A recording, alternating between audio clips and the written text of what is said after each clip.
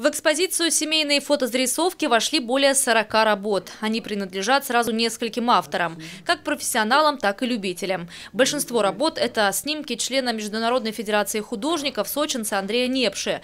Главная тема его творчества – это православие и духовное возрождение России. Несколько работ с подобной темой и сюжетом можно найти и на выставке «Семейные фотозарисовки».